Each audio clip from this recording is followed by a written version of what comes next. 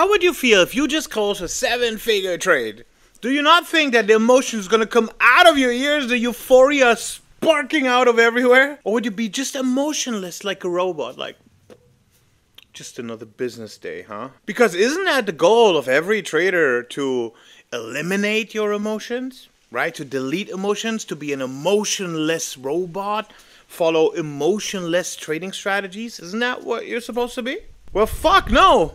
It doesn't work this way. And if you want to know how it actually works, you gotta listen. I'm gonna explain everything. Come on. Because the truth is, especially in a sea of retail traders that all parrot the same nonsense, the nuances make the real difference. And that's what you have to understand. The reality is nuanced. And it's not about deleting emotions, it's about managing emotions. It's like managing trades, it's like managing risk. You have to manage your emotions. So, how do you manage your emotions? That's something that is, in fact, not as difficult as you think, and it's part of the trader's journey. If you want to be consistently profitable and trade a strategy, even with a statistical edge, the seven building blocks in place, and a strategy that works for you, you will still need to be able to manage your emotions correctly if you want to be a millionaire trader or even more than that. Eh? So, what's the difference then between a retail trader and a professional trader's emotional control? Do you know the answer? Well, I know the answer. So, let me explain it to you. Because if you think about it, in its really simplest forms, emotions typically lead us away from what we should be doing, right? So, for example, our data tells us we should not trade more than two trades. Whenever we trade more than two trades a day, the percentage of the trades winning drops massively. But emotion leads us to have another trade, another revenge trade, or any of that nonsense. Our plan tells us let the trade run because you only apply the trade management with certain criteria. But our emotion wants to close the trade early as soon as it comes a little bit back against us. Or the other side around, it wants us to stay in the losing trade because we're hoping and feeling that it will come back. But the data tells us that's not true. So, this is why emotions can be extremely misleading and problematic. So, yes, there is a necessity to manage emotions, but not to delete emotions. Because without emotions, you do not have the discretionary excellence that little bit that robots cannot do. And I explain further in the video what I actually mean by that and how it impacts and really leads to absolute excellency in your trading results. Of course, there's simple rules that we should just not override. So we shouldn't take 50% risk per trade. Why do people do that? I honestly don't understand. Like, not even this is torture. So you're not even like emotions are leading you down a really painful path, and that's certainly something where you can completely ignore your emotion of wanting to take a higher risk. That's greed, right? So emotions can work in both directions, positive and negative. Euphoria is just as bad as being afraid of something because it leads you to making decisions that are stupid. Now, removing emotions out of the equation isn't the solution, however, because if you remove emotions completely, then a robot could do it. But the problem with that is, is that if you only have extremely fixed parameters, those parameters, and this is why, for example, also an automatic trading robot will never work that you buy on the market, those parameters are only within a narrow band of reality. So when a market has different scenarios happening than this band only, defined parameters will not work. And you will not have any discretionary ability to adjust. And this is why, when you have an automated system, an algorithm, that algorithm needs to have a ton of parameters to be working in the first place. And all these parameters need to be optimized and adjusted frequently all the time. Otherwise, it's just over optimized for only one version of reality that might not ever actually happen again exactly that way. And that's why those robots don't work. They work in certain market phases and then they just all miserably fail and lose all the money. But that's why, you know, people are told you gotta eliminate your emotions. If you have emotions, all you gotta do is, you know, mistakes in trading. And while a big part of that is true, it's just as misleading. Because if you eliminate emotions, you also eliminate your ability to, in fact, discern the nuances and make proper decisions based on that. Yes, you follow your trading plan. Yes, you follow your statistical edge. Yes, but you also review your data and you understand in which situations are you behaving how. And then you develop, and that's the superpower in trading, self-awareness. Self-awareness is the key to solving your emotionality in trading because what you will learn is that certain things, whether it's losing a trade, whether it's being in a drawdown, whether it's being up on a trade, will trigger a certain emotion in you. And that emotion will override your rules and, yeah, make you have bad judgment.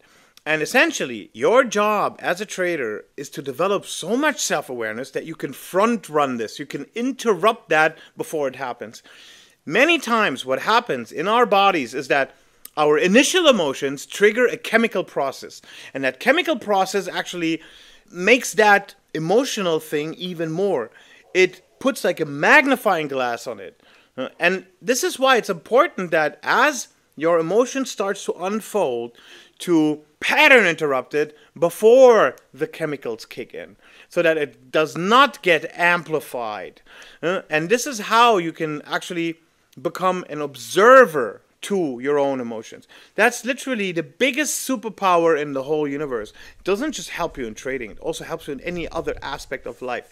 You become, you know, it's a, it sounds a bit new agey, right? Like uh, become self-aware and and these things, but that's literally the thing. You have to be an observer of what's going on. That's by the way also a lot of times people misunderstand what meditation is. They think like meditation is all about stilling the mind. You must not think about anything, but that's not true. There's actually two forms of meditation.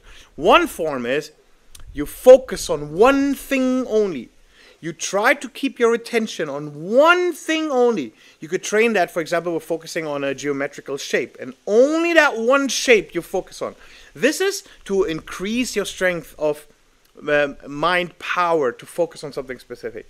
But the other way of meditation is is to actually let your thoughts pass by like a river and you are just an observer to them. You don't get attached to these thoughts. You don't interact with them. You don't get engaged with them. You just let them flow.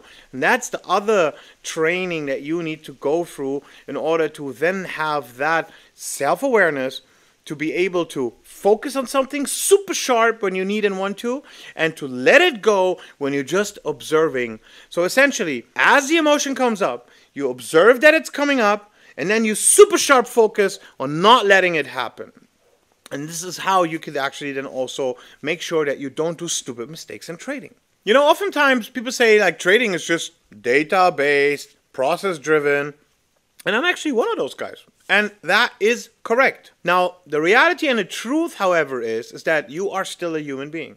You will still have your heart you will still have your flawed perception. You will still have your biases. You will still have your character. This is why I always say you don't just need a strategy with a statistical edge, which is that rules based part which then gives you the mathematical edge to win. But you also need a strategy that works for you so that you can actually put it into action, which means is that it emotionally allows you to not make mistakes or to put it as it needs to be done properly. Okay? That's why these two concepts, strategy that works for you and statistical edge, they need to be married. Only then they become one whole winning strategy. You get it? And because we are created this way by God, or maybe even aliens made our DNA this way, like who cares? But because we are like that, and I say that so many times, never fight reality. Work with reality. Understand reality and make it your bitch. You know, reality is a servant to you, and you will need to understand it for it to become your servant. And that's why, because you are made this way, we do feel emotions, we do have a heart, we do have our perceptions and biases and preconceptions and triggers and the subconscious and all of these things. They are there. Whether you acknowledge it or not doesn't change a thing. They are there. And that is why you need to manage your emotions, not suppress them, not control them in a way that they are gone, but manage them, work with them, understand them. Understand your biases. Some people are super reckless. Other people are extremely fearful. Again, people are too patient. Other people are very impatient. And some people are extremely disciplined, and others are the opposite. So that is why a mentoring process is so valuable because when you work with the right mentor, and this is what I do with my students, for example, we figure out these things. Uh, like, what are you? What are you good at? What are you bad at? What are you struggling with? What are you really, you know, fantastic in? And then, as you put things into action, the statistical edge strategy, the seven building blocks, strategy that works for you, and then you journal and you actually, you know, provide the data of your journaling. Did you do what you wanted to do? At which point did you behave differently? Can we find patterns? Can we see like uh, what we could and should improve? And I even share in my uh, closed group, like on a weekly basis, I review the trades of my track record. And this is why I'm telling you guys, you know what? If you don't believe the things that I say, then I couldn't care less. because I have a track record to back up that what I'm saying actually works. Let the data speak. It's not my opinion that is talking here. What's talking here is my results, by experience. It's proven in a consistent, now I think about 22 months of track record of consistent profitability. And I started this track record for exactly that reason. I'm not going to have the conversation explaining myself to others whether my methods are true or real or not. The results do all the talking. And now you can decide if you want to, you know, work in the training industry with some schmuck that's going to sell you some hope and dream without a really working method or proof to it or if you want to learn from someone that can actually you know get you to the promised land of profitable trading consistently and whether you want to just you know add to your income uh, or you want to even replace your job like that is a decision that you can then make once you have acquired the skill set of trading and then also with today's possibilities you can access funding as well hmm? I mentioned that in other videos as well that I have a solution for my students where they can get instant funding. So you can have instantly a large account to trade because you're my student and you learn from me. That's how much that prop firm is willing to trust this method. And that's why, guys, again, the reason I'm explaining these things to you is that my emotionality, I have it so much under control, like I'm managing it, is that People will talk shit about me on the internet all day long, but it says a lot more about them than it does about me. I am defined by my results. I hold myself accountable by my results, not by my words. Let the others do the same, and if they don't, then they don't. But that doesn't change my reality. So, you see, even here, I manage my emotions. I get triggered all day long. Uh, and people call me names or scammer or whatever nonsense. And actually, they only say that because they have fallen victim to scammers before. And that's not even my fault. That's completely their responsibility. And I understand why they would be bitter and why they would want to push that emotionality on somebody else because it's tough to accept your own emotions.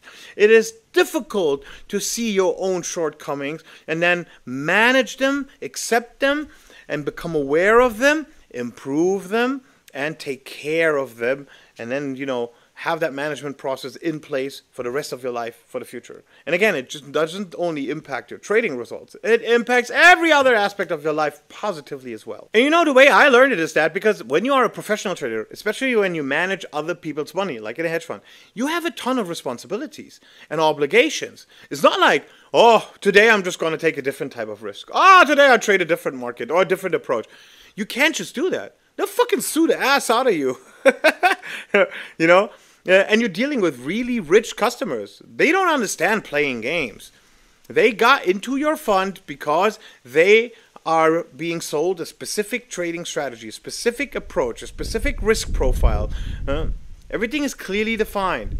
And based on that, they took the risk investing in you, trusting you. So you have obligations that you need to fulfill. That's why a professional trader will always know to manage their emotions a lot better because that is what keeps him alive. And just think about it.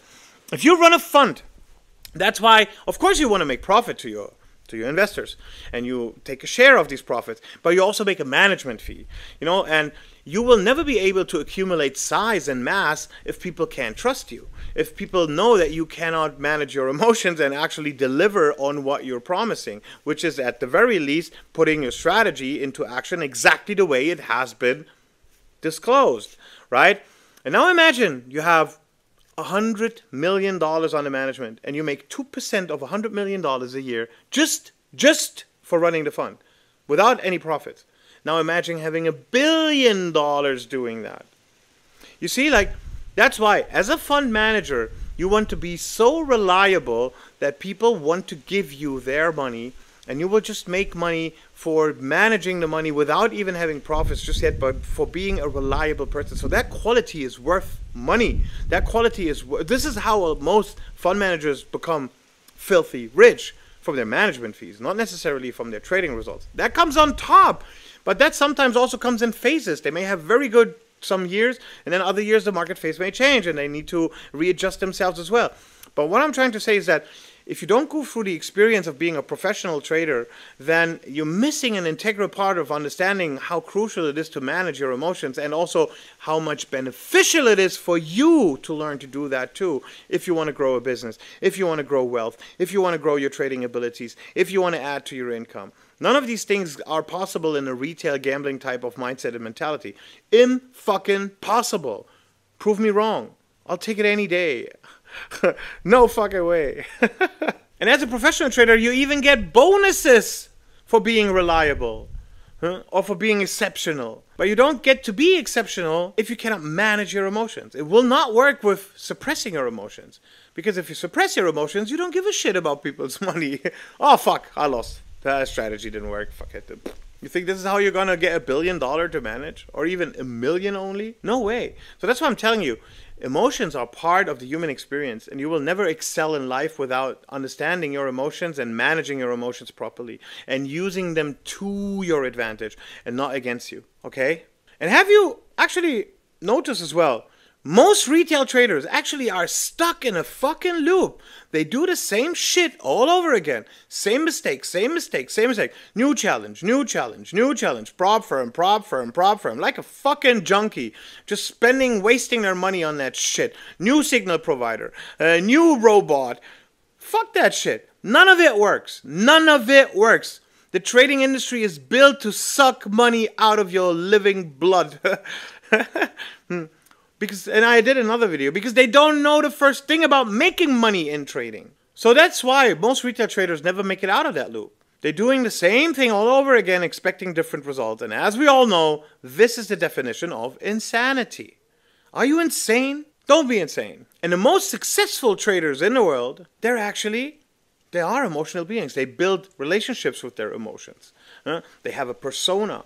They are, you know, charismatic. You think charisma can work without emotionality. They can re- customers, the investors can relate to them, and even in the retail space, like I know a guy also he raised around 10 million or, or like uh, 70 million dollars from like 20,000 people, and he did that mainly through emotionality. People connected with him and gave him his money through a copy trading operation. So you need to have emotions in place if you want to go places.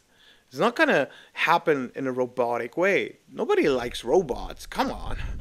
So, really, being completely emotionless, it, doesn't work. Being indifferent, not giving a shit, it doesn't work. I've been in this game for close to 20 years, and I could tell you for sure it does not work. That's not the solution. You cannot suppress and remove your emotions.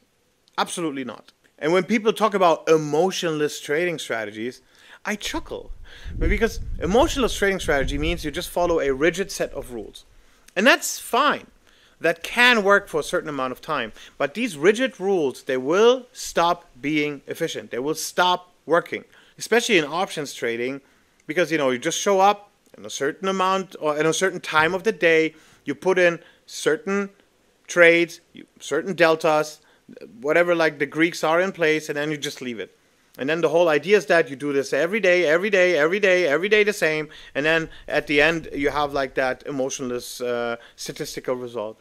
that works only when, for example, the volatility is within a certain range. If the volatility goes above or beyond that, it won't work anymore, and then you will need to adjust. So it's not that emotionless any longer, really.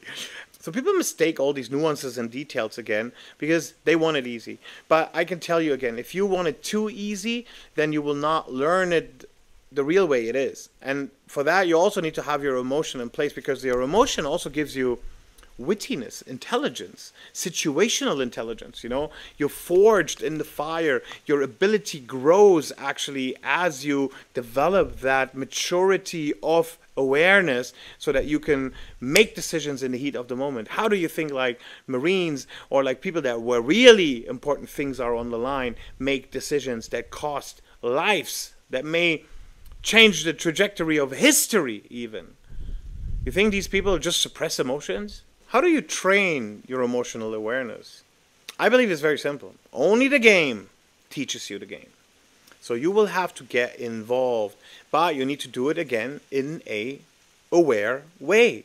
So meaning you need to have a clear structure of what it is that you're trying to trade. You need to have a statistical edge in place, the seven building block structure. It needs to be a strategy that works for you. And then as you put it into action, you need to record and document, uh, yeah, your execution, in fact, and then find patterns. In which situations are you feeling stressed? In which situation are you feeling um, careless? In other situations, you know, like, and then reverse engineer what what is happening there.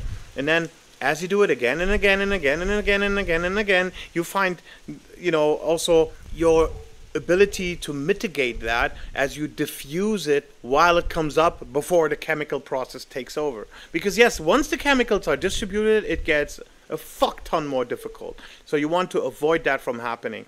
And you can only do that by being aware of like, ah, is an emotion coming up. That emotion is triggered by, ah, I'm sitting in a drawdown, or hey, the trade went in my direction, and now I'm feeling far too happy, far too euphoric. You know, you become so much more aware and attentive of these things and then you know like okay now i have a tendency to you know uh, question my risk management my trade management um, not to follow my plan again and and as you do that again and again and again, you train your muscle of awareness and then also you train your muscle of ability to focus when it's needed, where it's needed to do the fucking thing that's necessary.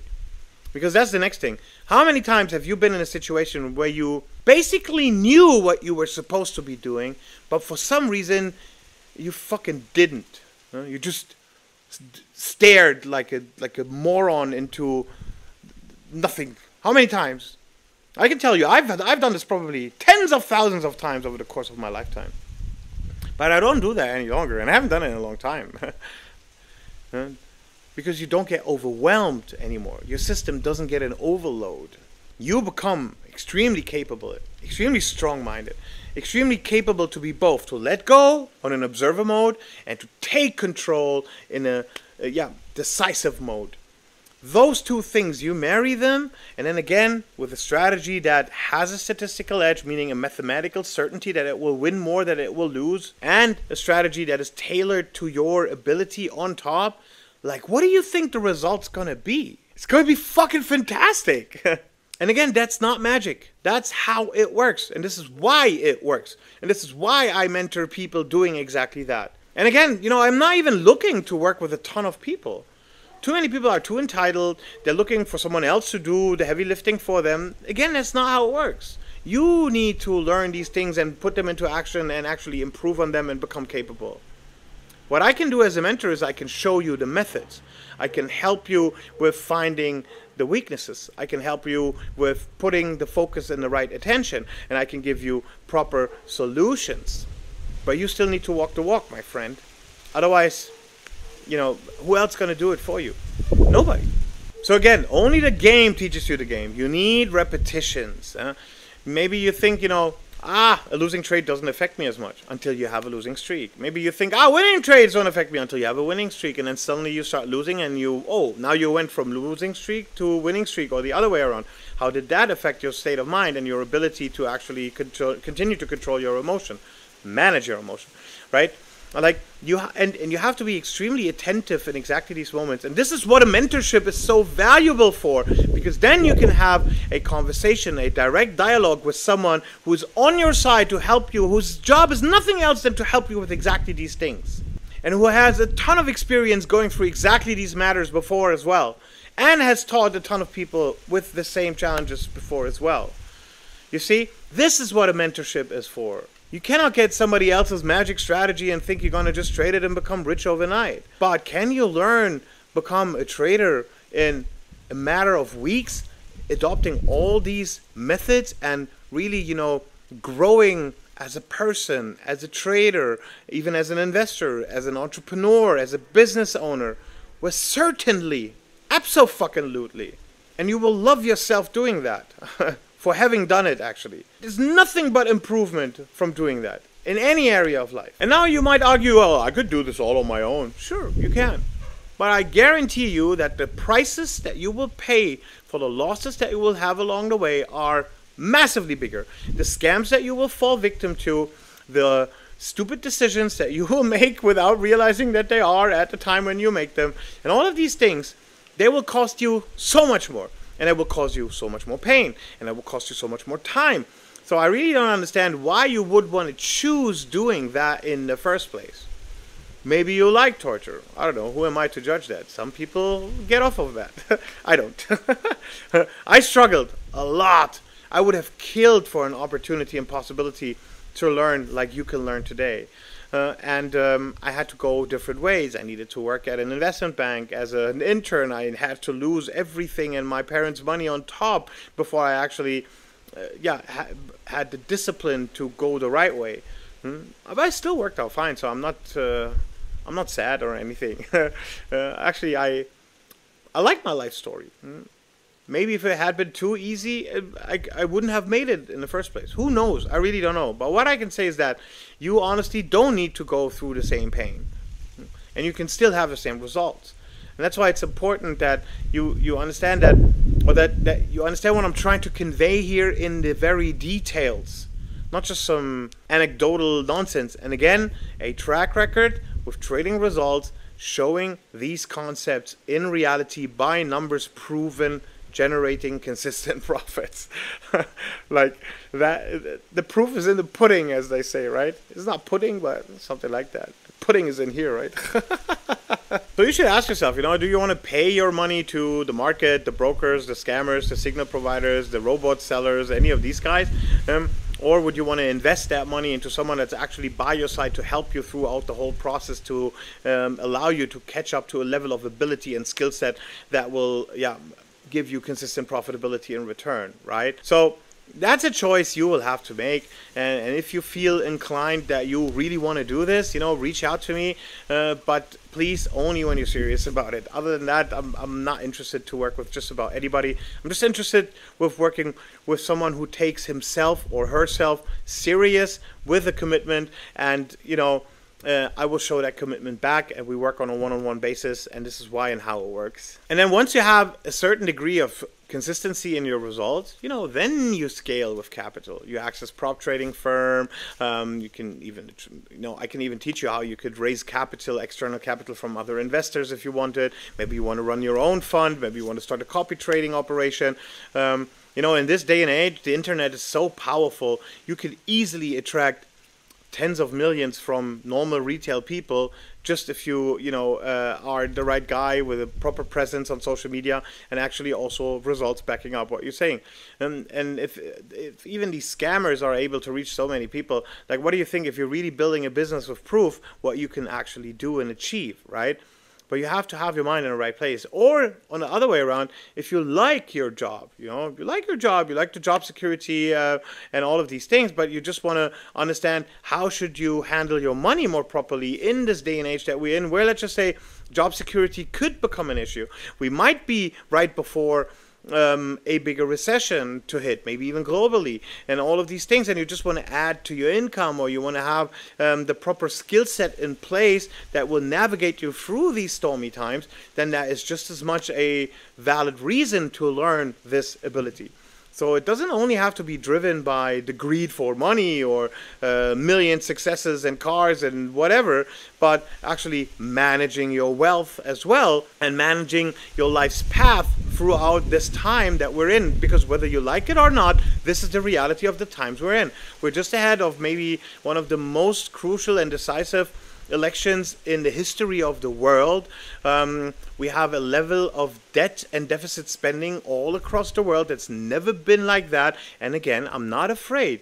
I know to manage my emotions. I know which actions I need to take to take advantage of all of that instead of being, you know, worried or afraid or stressed by any of these things. Whatever happens, happens. That's actually one of the most important things. That's also one thing that a lot of people confuse about um, emotions and and being stoic or I'm a big fan of stoicism. I teach a lot of stoicism also in my in my training.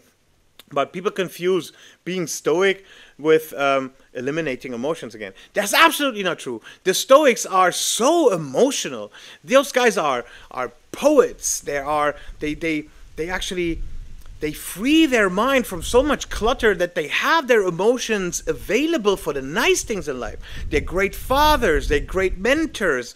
Um, you know, you need to have emotional bandwidth for these things in life as well. So if you are a father and you want to be a good father to your child, you want to teach your child good lessons, you want to be a good protector, a good example, then you, you cannot dump down your emotions you need to have your emotions in the right place and you need to have the strength that you need to have in the right place as well right? Stoicism is all about discerning nuances.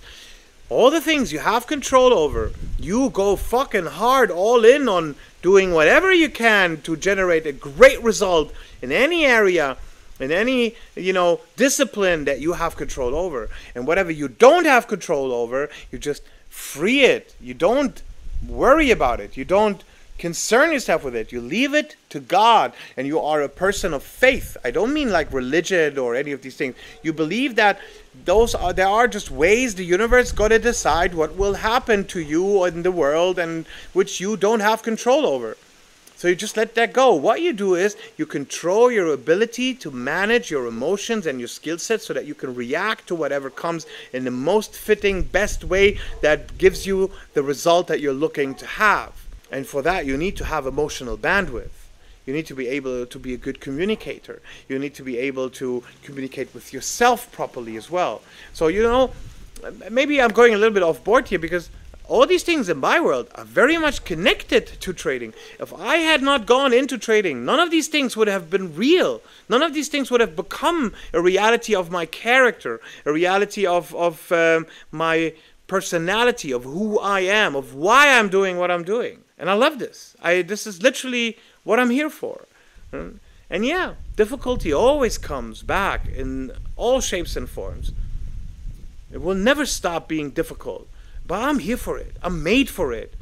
I think it was Marcus Aurelius who said like don't pray for an easier life, right? Just be grateful that it actually happens to you because you're capable to do it. Pray for, you know, the strength and the ability to to navigate through it. You can obviously pray for it, and it's nice to have like a positive expectation. But the positive expectation alone is not going to solve it. You got to have the the grit, the strength, the ability, and also the methods to make it work. So that was a little bit uh, sidelining the whole trading thing, but it's super much connected. Actually, I don't even think I sidelined it here. You can let me know what you think, actually. Because, you know, to me, trading is a never ending learning game. Today, like even after almost 20 years of trading, I can tell you, I still learn about myself.